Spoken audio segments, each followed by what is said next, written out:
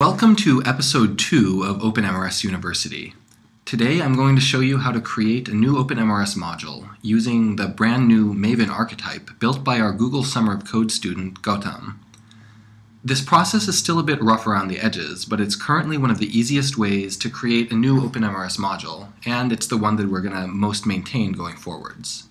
So the documentation for this is on our wiki, on the Using the Module Maven Archetype page, and you can see a permanent link at the bottom of this video.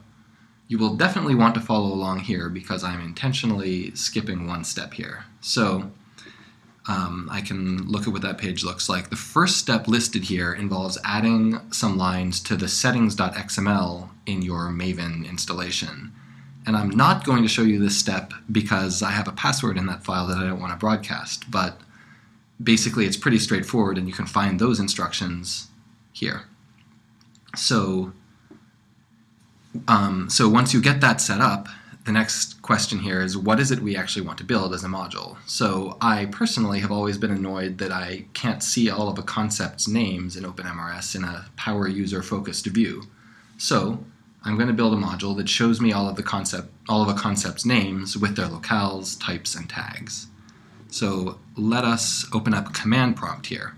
And you know, at some point this really needs to work through Eclipse, but as I said, we're a little bit rough around the edges at the moment. So from this command prompt, I'm going, I've gone, I'm inside my workspace directory in Eclipse.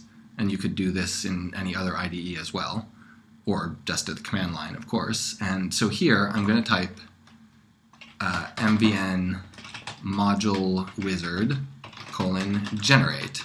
So that's you know saying what artifact we want to run here. I hit enter, and at this point I'm going to fill out, you know, it's going to download some things. Um, and uh, since I've run this before, it, you know, those files are downloaded already, but the first time you do it, it's going to download a bunch of stuff. So now I need to put in the details of the module I want. So first off, what is the group ID, effectively the package we want the module to uh, be in, and I'm going to leave this as the default, and you pretty much always want to unless I don't know, you're making some proprietary module that shouldn't be under the org.openmrs space. Um, artifact ID is the ID of your module. It should be all lowercase, no spaces, and it should not include the word module in it. So in this case, I'm going to go with concept name. Uh, you know, maybe I could call it concept name management or something, but concept name will do for now. If you're planning on publishing your module, you should actually email the code at openmrs.org mailing list and request a specific name before you do this, ideally. Um, but you know, you can find instructions about that on the wiki. So I hit enter. Um, I will proceed and just let this be 1.0 snapshot. So the module name is going to be a human readable version of that module ID. So I'm going to call this concept name management. Um, a description uh, let's call it uh, advanced management of concept names. And I can learn to type. Um, I'll leave myself as the module author. Um, and let's say that we want this to depend on OpenMRS version 1.8.0, for example. Um, do we want an admin page link? Let's say yes. We're going to want to pay a link on the administrative page saying manage, uh, you know, advanced concept management. Um, what should that be called? Um, I'm going to say, you know, in fact, let's call it advanced concept management. All right. Do we want spring-driven MVC pages? The answer is yes. Do we want uh, service DAO Hibernate, uh, in this case, no, we're just going to be displaying existing information and, uh, well, displaying existing information, saving it or viewing it through existing API, so I'm not going to, uh, I don't need this. You might for many real modules. Um, does this module depend on another module? I'm going to say no. So, ready to create. Are these correct? Yes. So at this point, um, the archetype runs and it builds builds a module. So now I've sort of created um, in well in the folder I've got here, I've created a uh, concept management. Where did it go? These are not sorted by name apparently. Well, oh, uppercase, lowercase. Anyway, somewhere, yeah, concept name. Here we go. This is the thing I just created. So now I'm going to pop over to Eclipse and, um, whoops, let's see, just clean up my, um, clean up my working space here. So, all right, so I'm going to now import that, um, import that module into Eclipse. So I'm going to go uh, File, Import, and I'm going to import existing Maven projects. You can probably find this by typing Maven here. Um, existing Maven projects. And now I need to find the directory on my computer where this is. So, um, you know, within, I had put it in workspace and then in here, it's created a concept name folder. So I'm going to choose that folder and Eclipse finds these three uh, POM files corresponding to the API layer and the web layer of this module. So I'm going to, you know, I'll import all of these. Um, one thing that I'm doing, since I have about 30 or 40 Eclipse projects open, um, I'm using a working set. And so I'm going to say that when this thing gets imported, I also want to add it to the University Screencast working set. Um, most people won't necessarily be doing this, but anyway, it's a, you know, it helps you manage your workspace, I find.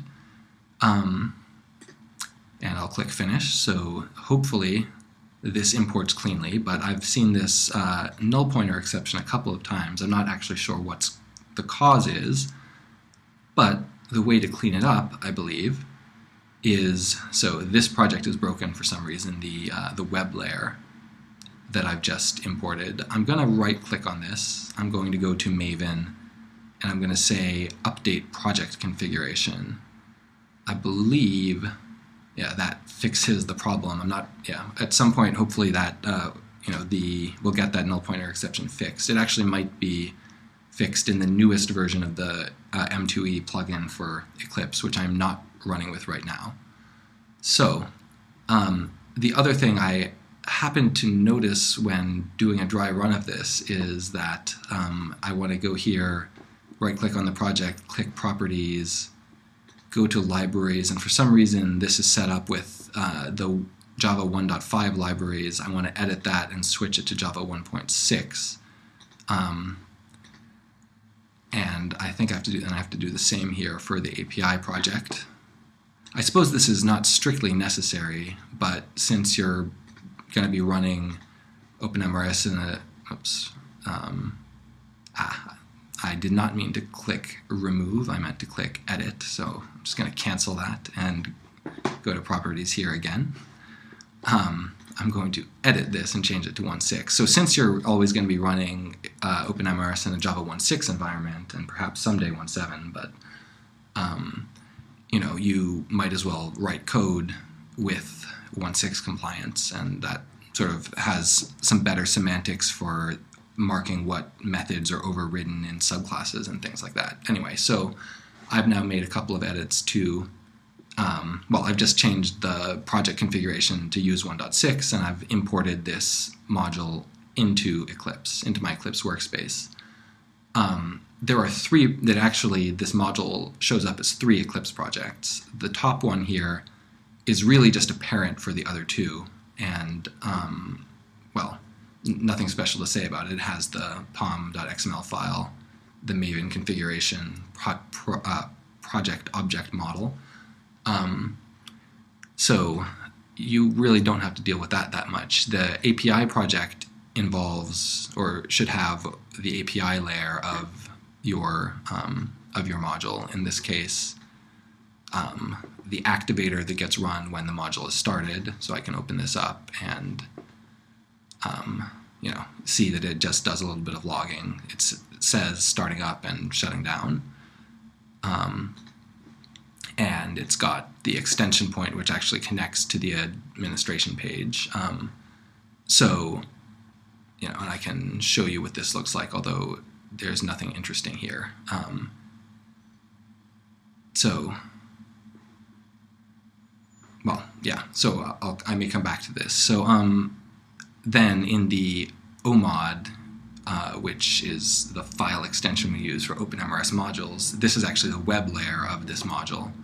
So I believe if I go in here, there's going to be yeah, there's going to be a first um, form controller, just sort of as, as an example for you. Um, and you know I will edit this shortly. But for the moment, um, let's go on to what's actually probably the next step. If this is the first time that you're building um, building a module in OpenMRS, you probably are going to want to check out the OpenMRS source code to be able to build uh, to write code against that source code. You know, check it out, uh, look up function definitions and Javadoc and stuff like that. So um, you know, in real life, I have about 10 versions of OpenMRS code checked out, so you know, I've already done this, but um, if you're doing your first module development, you probably want to check out the code for that version of OpenMRS that you're developing your module against. So in this case, I'd said OpenMRS 1.8.0. So I'm going to here hit Control N, or I guess Command N on a Mac. Um, and I want to actually check out a Maven project from SCM. I think that SCM stands for Source Code Management. Um, I'm going to choose SVN as the uh, protocol here, and um, you know you will need to have set up Eclipse with the plugins, as you can see in the first episode of OpenMRS University screencast. Um, so I'm not going to go through those plugins here. So I've chosen SCM as the pro or SVN subversion as the protocol, and now I'm going to go into um, the repositories that I have set up. Um, I want to get the 1.8.0 version of OpenMRS. So I go into OpenMRS, tags, so those are actually specifically tagged revisions for each of our um, released versions. So I will now go down to find 1.8.0 and I will um, select that.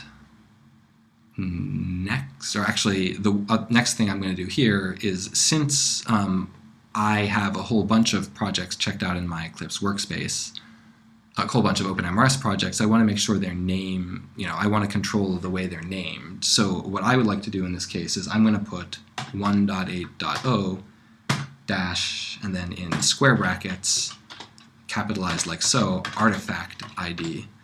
Um, and what this is going to do is going to prefix um, this prefix the projects that get checked out with 1.8.0 dash. That way I can keep them organized. Uh, you don't have to do this, but if you're checking out multiple OpenMR versions of the OpenMRS codebase, you may want to you know, try a scheme like this. So I will now hit next uh, and click finish. So this checkout, um, I'm actually not certain quite how long it's going to take, so I'm going to pause this recording and resume when it's done. So interestingly, uh, resuming here, I uh, got an error message which I thought I was going to um, avoid by having specified uh, a name template in under that advanced configuration. Um, I'm a little, so let's see what happens here. It looks like it's trying to rename this thing I checked out to um, just slash OpenMRS, and that uh, failed because indeed I already have an OpenMRS um, checkout. So let me just try that again and see if maybe I typed something wrong. Um, I'm hitting Control N, Control for new SCM, checkout Maven project from source code management, subversion, and then I can probably pick, yes, exactly the same, um, the same URL, and under advanced, huh, I think I probably typed uh, what I meant to put under name template under profiles. So let's see, 1.8, 1.8.0 dash artifact ID in square brackets, next, and finish. So let's try that again and you know I'm going to pause now and resume once it's done checking out. So indeed, that the mistake was that I had typed uh, typed that into the well into the wrong field into profile instead of uh, name template. So Um, this is checked out, and I realize I forgot to specify that I wanted to add this to my um, to to the working set that I have active right now. So I'm going to go here to Window, Working Sets, Edit, and in this University Screencast working set, I want to add the 1.8.0 project. All right, so this is what you know, uh, if you were just done this in a clean workspace, you would get basically something that looks like this. So I've got now 1.8.0 dash OpenMRS, the parent project, um, and then there's the API test tools web and web app subprojects. Um, I'm not actually going to build OpenMRS 1.8.0 right now. I don't really need to do that. Um, my purpose in checking this out is really just having the source code around to consult as I start developing my module. All right, so at this point we've got the OpenMRS source code to look at, and we've got the skeleton of our project built. So in the next video, we'll start actually writing the code, but I'm gonna stop this one for now and go ahead and go straight on to the next one, which I'll record in a second.